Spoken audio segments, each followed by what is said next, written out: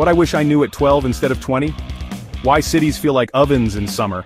It's called Urban Heat Island Effect, and we're causing it. Urban heat islands, or UHIs, make cities like Ahmedabad, Delhi, and Bangalore much hotter than their rural neighbors. Why? Concrete jungles, fewer trees, and tons of vehicle emissions. Take Ahmedabad, it got so hot that it led to India's first heat action plan. And Delhi and Gurgaon? Glass towers and paved roads make summers unbearable. Bangalore, once loved for its cool weather, now faces record highs due to tree loss and shrinking lakes.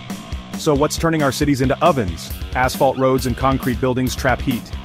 We're sacrificing green cover for development.